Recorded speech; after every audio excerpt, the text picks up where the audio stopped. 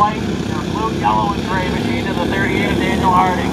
They go through turn three and four. Harding with the jump and Bobby pivots and let's go racing. Avery with their hands full with the rest of the field as they push up. They all wreck off of turn number two as Vashon gets stuck in the wall in the backstretch.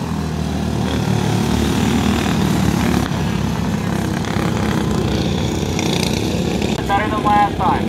Is Harding going to get the jump again? Looks like he is. He takes off, three flags in the air.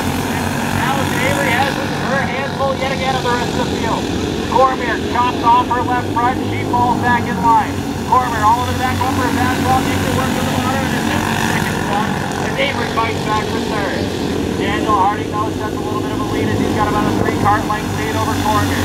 Cormier trying to hold off David Nash on his main sets there. Nice little way a little bit over Allison Avery.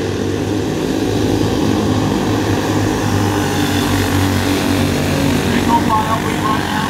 Well, nearly fast. He's got speed as he looks at the bottom. He's a little sideways, corrects it, gathers it back up, and it's still second.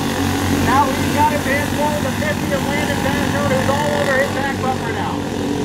Cormier, though, with speed as he sets, sets himself apart just a little bit up off the corner. He's got the run. Is he going to get back to the back bumper? Daniel Harding, who also has speed all year so far.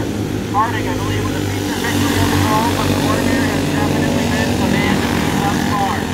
Cormier now, inching the back bumper of Daniel Harding. Halfway down, halfway to go. We're for the lead on the. Now we're going to be three wide. Back up, Harding back around him on the outside. Harding resumes the lead yet again.